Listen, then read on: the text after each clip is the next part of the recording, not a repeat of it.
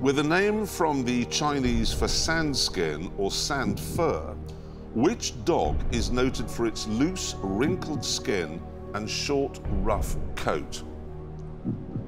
Shar-Pei, Shih Tzu, Samoyed, or Saluki? Okay. Dog fan? I actually own a Shih Tzu called Harry. Has it got loose, wrinkled skin and a short, rough coat? No. So I can rule Shih Tzu out.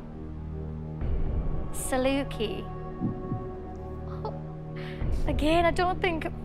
I can't imagine my phone friends knowing this. You do have 50-50. That could be of some help to you. Yeah. Possibility. I mean, really, so I should really use my 50 50 because then if I'm going to phone a friend, I mean, it helps them out to not have so many answers. Well, there's another way of looking at it, which is if you know that your Shih Tzu doesn't have loose, wrinkled skin Yeah. and a short, rough coat, and Shih Tzu stays up there, That is very true. Okay, I'm going to go for 50 50, please. okie doke. Computer, could you take away two randomly selected wrong answers, please? Now then, has that helped? Now I'm now I'm doubting what my dog looks like. no, Harry definitely does not have loose, wrinkled skin.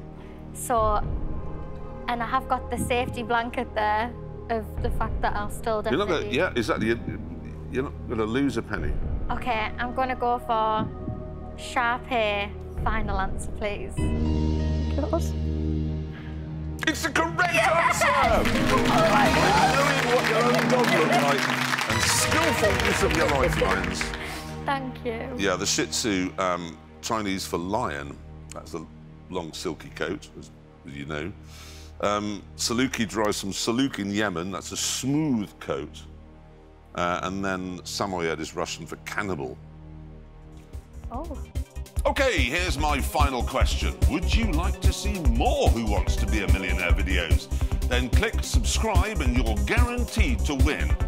Granted, it's not a million pounds, but it could be worse.